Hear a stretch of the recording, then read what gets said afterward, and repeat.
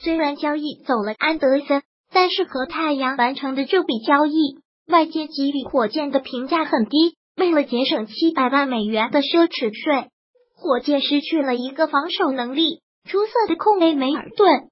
火箭更换了新老板之后，并没有让莫雷改变以往精打细的工作方式。新赛季，雷霆的奢侈税将高达七千三百万美元。而雷霆在上个赛季季后赛首轮便遭遇淘汰。不过，今夏雷霆还是为格兰特、诺埃尔等人送上了合同。火箭今夏为保罗和卡佩拉分别开出合同，前者得到了一份四年一点六亿美元的顶薪合同。保罗是联盟前十水准的球员，在控卫位置上也是前三水准，但是三十四岁的年龄仍是隐患。上个赛季。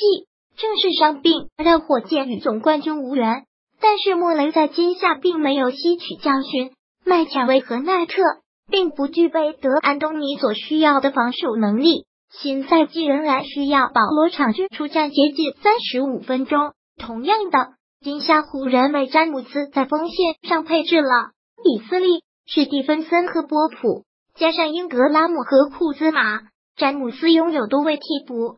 火箭今夏的运作更多的是弥补上个赛季的漏洞。埃里扎和巴莫特的离开，导致火箭锋线实力大减。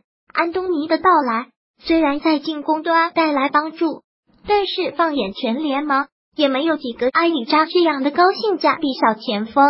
不过，火箭还有一个需要解决的问题，就是他们的替补一号位，作为零三黄金一代的韦德。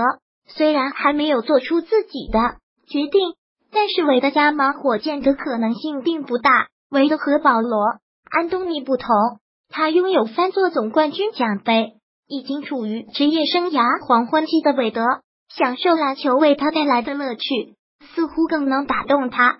虽然湖人的詹姆斯、火箭的哈登、保罗和周琦都能帮助韦德获得更多的关注度。